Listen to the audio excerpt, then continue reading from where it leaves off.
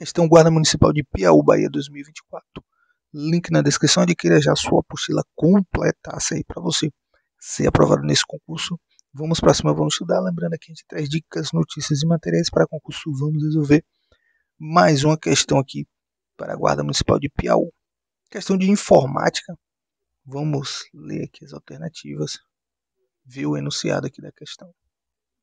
Assinale a alternativa que apresenta a principal função do programa de antivírus, geralmente utilizado em um computador. Letra A permite que hackers acessem o sistema. Letra B proteger contra vírus e malwares. Letra C acelerar a velocidade da internet. E letra D criar apresentação apresentações de slides qual é o nosso gabarito aqui da nossa questão. Vamos ver aqui o nosso gabarito. Gabarito letra D. Proteger contra vírus e malwares.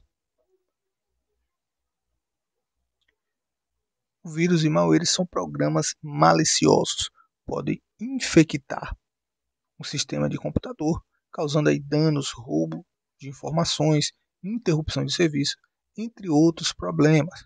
O antivírus é projetado para identificar, bloquear e remover essas ameaças antes que causem danos ao sistema, né? Para reforçar aí o seu conhecimento sobre a proteção aí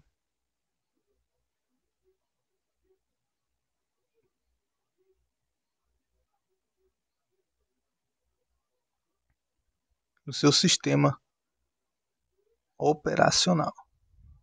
Logo, nosso gabarito. Letra B.